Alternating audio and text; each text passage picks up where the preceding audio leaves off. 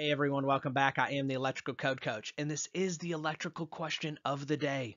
What is the minimum circuit requirement for kitchens? And what we're talking about in a kitchen, what is the minimum number of required circuits? And we're going to find this answer in 210.11c1.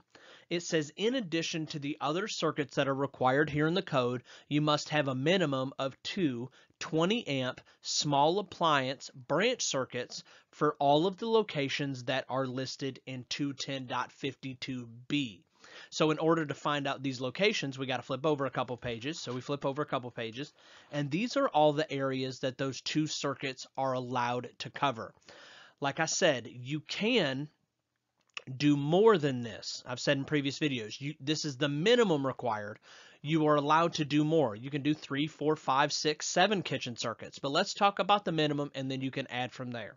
So when we get over to 210.52, B1, we're going to find out that the receptacles that this is a this, the receptacle outlets that are allowed to be served by the branch circuits that are listed in 210.11c1 are the kitchen, pantry, breakfast room, dining room, or similar area.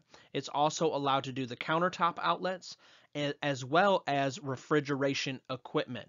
So off of the one circuit, you could do the part of the countertops, you could do um, the dining room, and you could also do the refrigerator all off the same circuit. Then off the second kitchen circuit, you could do the other part of the countertops, the island, and a breakfast nook and just have those two circuits regardless of how big the house is. Now, if you have multiple kitchens and it's by definition a kitchen, you're required to have two of those circuits for each kitchen. So you've got to keep that in mind.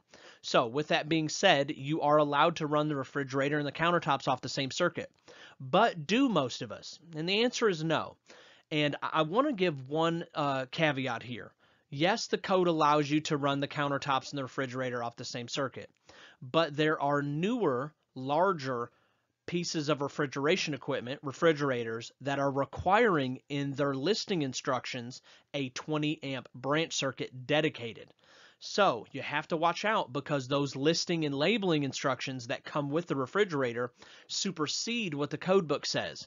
So the code book might say you can run the countertop in the refrigerator, but if inside that manual, inside the paperwork, it requires a dedicated 20 amp circuit, guess who wins? It's the refrigerator. So you would have to follow that. And that would be a 110.3b issue if you want to go check out that code. 110.3b. I hope you guys are having a great week. And if there's anything I can do to help you in life or business, you can always email me at electricalcodecoach at gmail.com. Let's get to it.